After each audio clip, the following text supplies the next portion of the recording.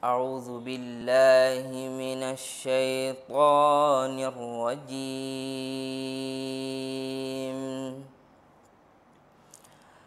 بسم الله الرحمن الرحيم.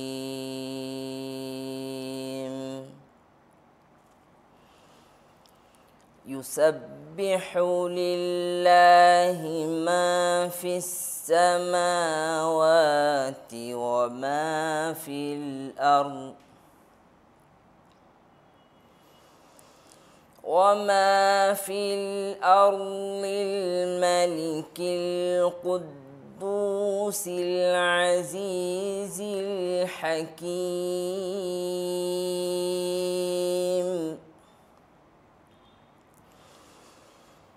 هو الذي بعث في الأميين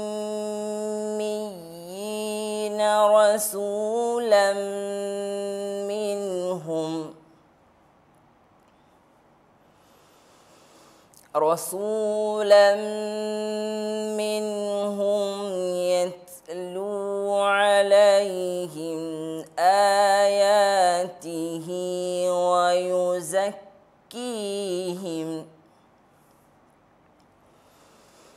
ويزكيهم ويزكيهم ويعلمهم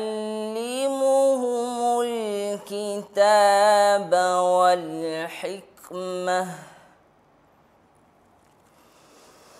وإن كانوا من قبل لفي ضلال مبين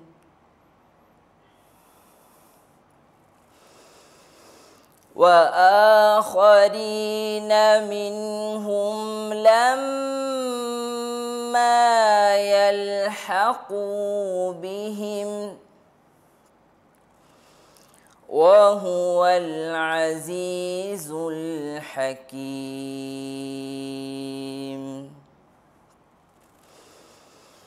ذلك فضل الله يؤتيه من يشاء.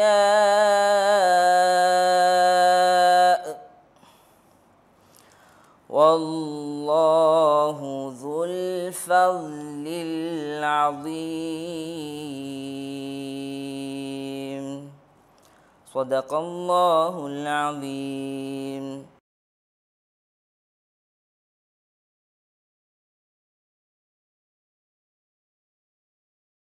السلام عليكم ورحمة الله تعالى وبركاته. أعوذ بالله من الشيطان الرجيم. بسم الله الرحمن الرحيم. الحمد لله رب العالمين. والصلاة والسلام على أشرف المخلوقين وعلى آله وصحبه أجمعين. أما بعد. بسم الله الرحمن الرحيم. اقرأ باسم ربك الذي خلق خلق الإنسان من علق. اقرأ وربك الأكرم الذي علم بالقلم. علم الإنسان ما لم يعلم. പ്രിയപ്പെട്ടവരെ Bukhari knowledge fest B K F ഇന്ന് open ചെയ്യുകയാണ്. അറിവിന്റെ ഉത്സവമാണ് ബി കെ എഫ് അറിവിനെയും അറിവിന്റെ അന്വേഷണത്തെയും അറിവിന്റെ ആസ്വാദനത്തെയും ആഘോഷമാക്കി മാറ്റുന്ന മനോഹരമായ ഒരു പ്രക്രിയയാണ് ബി കെ എഫ് ലക്ഷ്യം വെക്കുന്നത്. ശരിക്കും അറിവ് ജ്ഞാനം വിസ്ഡം എന്നതൊക്കെയാണല്ലോ മനുഷ്യന്റെ ഏറ്റവും വലിയ വൈവിധ്യവും ശ്രേഷ്ഠതയും. മനുഷ്യനെ മനുഷ്യനാക്കുന്നത് അറിവാണ്. മനുഷ്യന്റെ ഏറ്റവും വലിയ സർഗശേഷി മനുഷ്യന്റെ ഏറ്റവും വലിയ സാധ്യത അതിനെ ആഘോഷമാക്കുന്ന പ്രക്രിയയിലൂടെ മനുഷ്യന്റെ ഉണ്മയെയും മനുഷ്യന്റെ ആത്മാവിനെയുമെല്ലാം പ്രകാശിപ്പിക്കുകയാണ് ബി കെ എഫ് ലക്ഷ്യം വെക്കുന്നത്. നമുക്ക് കേരളത്തിൽ വിജ്ഞാനത്തോടും അന്വേഷണങ്ങളോടും അതിയായ താല്പര്യമുള്ള ഒരു സംസ്കാരമുണ്ട്. അറിവിനോട് വലിയ പ്രതിപത്തി പുലർത്തുന്നവരാണ് നമ്മൾ. മുസ്ലിം സമുദായത്തെ സംബന്ധിച്ചിടത്തോളം ചരിത്രപരമായി തന്നെ അറിവിന്റെ വെളിച്ചം തേടി അറിവിന് സേവനം ചെയ്യുന്ന പാരമ്പര്യമാണ് അവരുടേത്. ആ നിലയ്ക്ക് നമ്മുടെ സമൂഹത്തിൽ വിശേഷിച്ച് ഇസ്ലാമിക സാമൂഹിക പരിസരത്തു നിന്നും അറിവിനെ അന്വേഷിക്കുകയും അറിവിനെ ആഘോഷിക്കുകയും അറിവിന്റെ ആഴങ്ങളിലെ മുത്തുമണികൾ പെറുക്കിയെടുക്കാൻ വേണ്ടി അന്വേഷകരെ കൂട്ടിക്കൊണ്ടുപോവുകയും ചെയ്യുന്ന ഒരു വലിയ ആഘോഷ അറിവാഘോഷ സംസ്കാരം വളർത്തിയെടുക്കുകയാണ് ബി കെ എഫ് ചെയ്യുന്നതും ലക്ഷ്യം വെക്കുന്നതും. അലഹമില്ല ബി കെ എഫിന്റെ സെക്കൻഡ് എഡിഷൻ ഇന്ന് ആരംഭം കുറിക്കുകയാണ്. നാൽപ്പത്തി എട്ട് സെഷനുകളിലാണ് നമ്മുടെ ബി കെ എഫിന്റെ മെയിൻ ഇവന്റ് സംഘടിപ്പിക്കപ്പെടുന്നത്. നേരത്തെ നടന്ന പ്രീ ബി കെ എഫ് ഇവന്റുകൾ കൂടി ചേർത്താൽ അറുപതോളം സെഷനുകളിലായി നൂറോളം ഗസ്റ്റുകളാണ് നമ്മുടെ ഈ വൈജ്ഞാനികോത്സവത്തിൽ സംബന്ധിക്കുന്നത്. കഴിഞ്ഞ വർഷം വി കെ എഫിന്റെ ഒന്നാം എഡിഷനിൽ നമുക്ക് മുപ്പത്തി ആറ് സെഷനുകളും നൂറോളം ഗസ്റ്റുകളും ഉണ്ടായിരുന്നു. വളരെ വൈവിധ്യമാർന്ന വൈജ്ഞാനിക മേഖലകളെ സ്പർശിച്ച ബി കെ എഫിന്റെ ഒന്നാം എഡിഷൻ ഇന്നും അതിന്റെ അനുവാചകർക്കിടയിൽ മധുരമുള്ള ഒരു ഓർമ്മയാണ്. ബി കെ എഫിന് ബഹുമുഖമായ ലക്ഷ്യങ്ങളുണ്ട്. നിരവധി ലക്ഷ്യങ്ങളുണ്ട്. ചിലതു മാത്രം സൂചിപ്പിക്കാം. ഒന്നാമതായി നേരത്തെ സൂചിപ്പിച്ചതുപോലെ അറിവിനെയും അന്വേഷണത്തെയും ആഘോഷമാക്കി ആസ്വാദനമാക്കി മാറ്റുക എന്നതാണ്. കലയും സാഹിത്യവും മാത്രമല്ല അറിവ് എന്ന മൗലികമായ കാര്യം തന്നെ നമുക്ക് ആസ്വാദ്യകരമാണ്. അറിവിനെ അറിവിന്റെ മധുവിനെ മനസ്സിലാക്കിയവർക്ക് അറിവിനോളം മധുരമുള്ള മറ്റൊന്നുമില്ല. അതുകൊണ്ട് തന്നെ കലയോടും സാഹിത്യത്തോടും ഒപ്പം അറിവിനെ തന്നെ ആസ്വദിക്കുന്ന ഒരു സംസ്കാരം വളർത്തിയെടുക്കുക. നിലവിൽ നമ്മുടെ ഉള്ളിൽ അതുണ്ട്. അതിനെ ഒന്നുകൂടി പുഷ്ടിപ്പെടുത്തുക എന്നതാണ് ബി കെ എഫിന്റെ ഒന്നാമത്തെ ലക്ഷ്യം. വൈജ്ഞാനിക സംവാദങ്ങളുടെ വിശേഷിച്ച് സൗഹൃദ സ്വഭാവത്തിലുള്ള സംവാദങ്ങളുടെ പുതിയ മുഖങ്ങൾ അവതരിപ്പിക്കുക എന്നത് നമ്മുടെ രണ്ടാമത്തെ ലക്ഷ്യമാണ്. അതോടൊപ്പം സമൂഹത്തിന്റെ മാറ്റത്തിനാവശ്യമായ ആശയങ്ങളും പദ്ധതികളും പ്രയോഗക്ഷമമായ പുതിയ മാതൃകകളും അവതരിപ്പിക്കുക എന്നത് ബി കെ എഫിന്റെ സുപ്രധാനമായ മൂന്നാമത്തെ ലക്ഷ്യമാണ്. ഈ എഡിഷനിലെ മഹല്ല് ജമാഅത്തിന്റെ സാധ്യതകളും പ്രയോഗങ്ങളും അവതരിപ്പിക്കുന്ന സെഷൻ പോലെ നമ്മുടെ സമൂഹത്തിൽ അടിസ്ഥാനപരമായ മാറ്റങ്ങളും പുരോഗതിയും സാധ്യമാക്കുന്ന ആശയങ്ങളെ അവതരിപ്പിക്കുക എന്നത് ബി കെ എഫിന്റെ ഏറ്റവും വലിയ ഒരു ലക്ഷ്യവും അതിന്റെ സ്വപ്നവുമാണ്. ഓൺലൈനിലൂടെ നിരവധി സ്രോതസ്സുകളിൽ നിന്ന് അറിവ് സ്വീകരിക്കാനുള്ള സാധ്യതയുണ്ട്.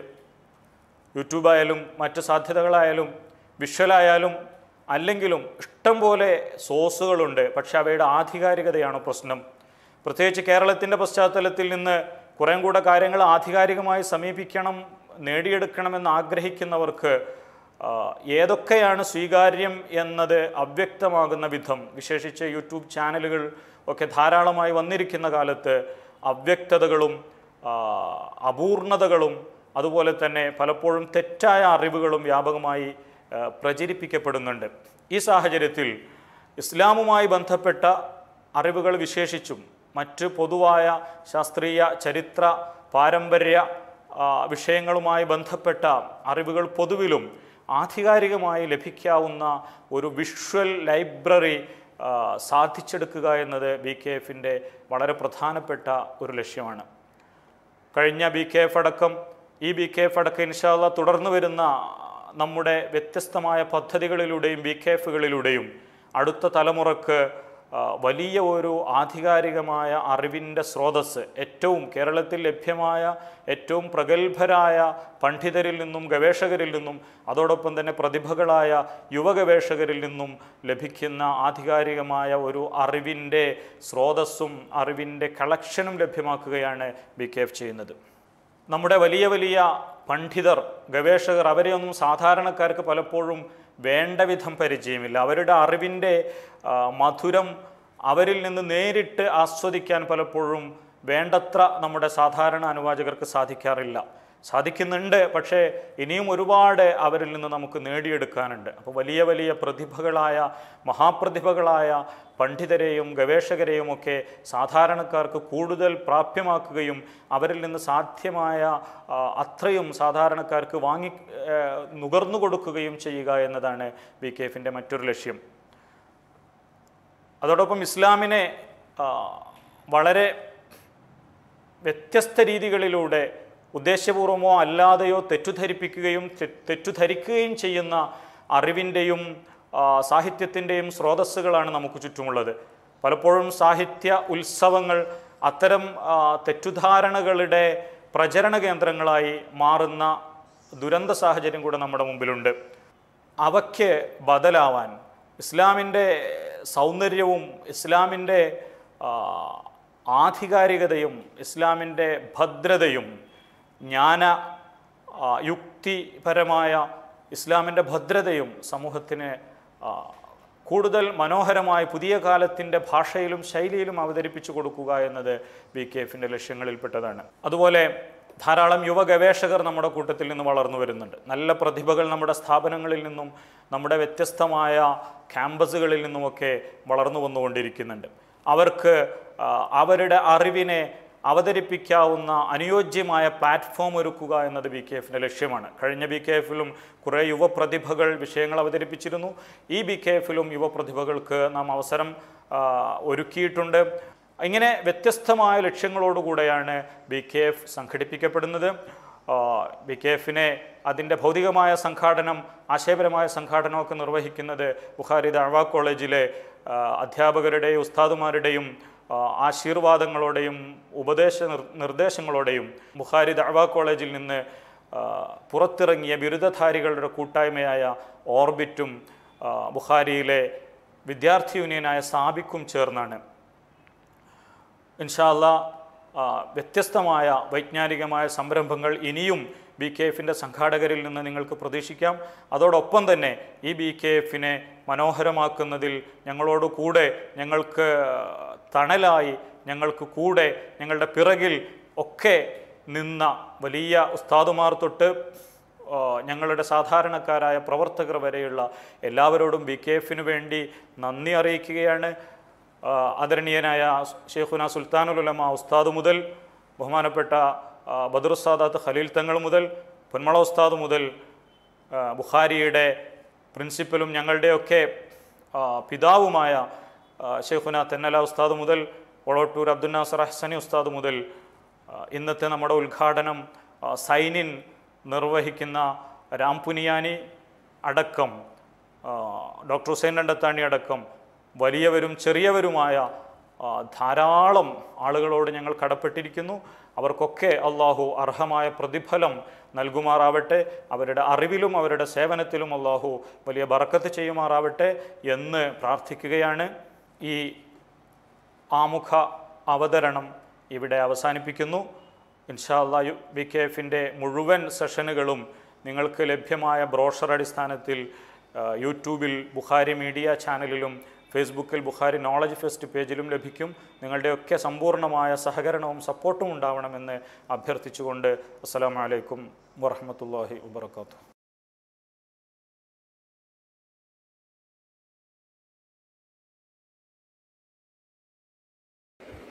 Dear friends, thanks for inviting me to inaugurate Bukhari Knowledge Fest Season 2. I am very glad that you people are trying to understand knowledge as a festival. You are trying to celebrate knowledge as a festival because knowledge of society, knowledge of nature, knowledge of different disciplines of life, this is what gives us strength to have a good particular type of system which we evolve. As they say, knowledge is power, and knowledge of all type is not only power, I will say, knowledge is also a means to have a better society, better life in all spheres of life. What I want to focus, apart from the professional and other things, is the type of knowledge we need to live in the society in a harmonious fashion. As we see in our country from last few decades, the issues related to religious identity, the issues related to emotions, the issues related to uh, people's uh, feelings, they are dominating the space and marginalizing the core issues of our society which are related to bread, butter, shelter, employment, health and dignity. In these circumstances it is very important that not only that these issues are important but the emotive issues also try to divide the society along various lines particularly along the lines of religion and this is something which is very dangerous which is very dangerous for a democracy like that we had. We came up as a democracy with the values of liberty equality fraternity with equality for people belonging to all the religions. But last 3 decades we have seen that due to the rise of issues related to ram temple issues related to cow beef lynching issues related to love jihad ghar corona jihad upsc jihad and all other these things there is a atmosphere in the society which is very stifling to weaker sections of society. Along with this type of a uh, identification of one religious community for marginalization and demonization this type of politics also undermines also tries to reduce the dignity of dalits adivasis on one side and women on the other. That's why we see that the atrocities against these sections of society are on the rise during last 3 decades. At the cost of developmental issues at the cost of gdp at the cost of increasing jobs in the society what we are witnessing is at the moment everything revolving around these identity issues these emotive issues which in a way though may be related to few people's emotions are projected to be the core issues of society and the society's real developments come to a halt. India has seen a culture where people from different religions have been living here. Islam came here on Malabar coast from 7th 8th century. Christianity came right in the 1st century and the other religions Buddhism, Jainism which developed here much earlier in this land. Sikhism came in 15th 16th century in this uh, country. So this country is having multiple faiths Hinduism, Islam, Christianity, Jainism, Buddhism, and other faiths also. They have been living with harmony, peace, acceptance, tolerance, and celebration from last many centuries. It was with the coming of British who pursued the policy of divide and rule that they tried to bring a split between Hindus and Muslims. They tried to present the kings in the color of their religion. So Hindu king versus Muslim king became a favorite for the, their history presentation and the Hindus were identified with Hindu kings, Muslims were identified with Muslim kings. This is a totally wrong way of looking at history. In history, in kingdoms, kings were on the one side, on their side were landlords and poor peasants, Hindus and Muslims, they were working, they were striving, they were coming out with their sweat to produce and to sustain the society and a big part of their earning was taken away by landlords and reaching to the king. So that was the basic thing. In Indian context, the values of uh, caste hierarchy, gender hierarchy, they also dominated. On the other side, we have seen a big tradition of bhakti saints like Kabir, Tukaram, Narsi Mehta, Namdev, a big tradition of Sufi saints like Nijamuddin Aulia, Moinuddin Chishti, and so many of them who spread love and peace through their life, through their messages, through their uh, hospices and the places where they operated. It was this society in which Diwali was celebrated even by Muslim kings, Holi was celebrated even by Muslim landlords. It was this country where Hindus also participated in various Muslim fe- festivals with great amount of gusto and enthusiasm. Our culture has been a mixed culture in which Hindus and Muslims, Christians and uh, Sikhs all have uh, contributed in equal measure for a proper healthy living.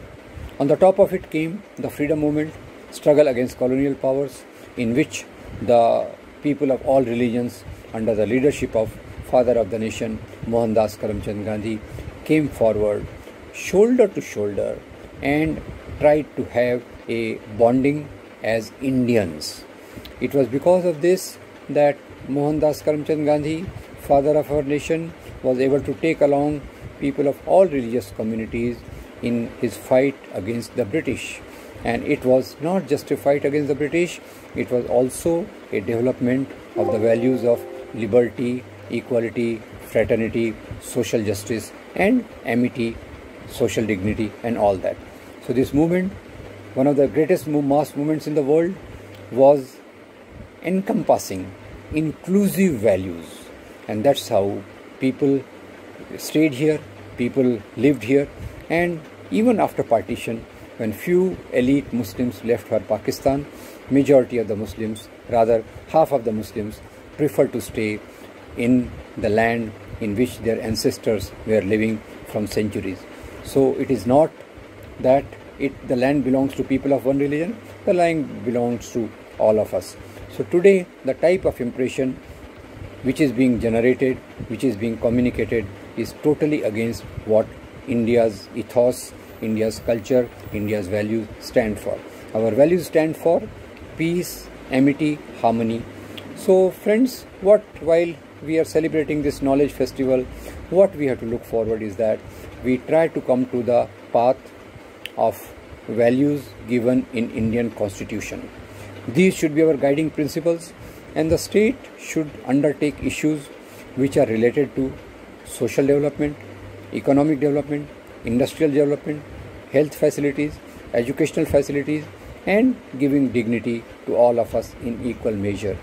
The issues related to people's religion can be tackled by at social level and in that also there should be no distinction between religion A or religion B. All of the religions have equal respect in our society.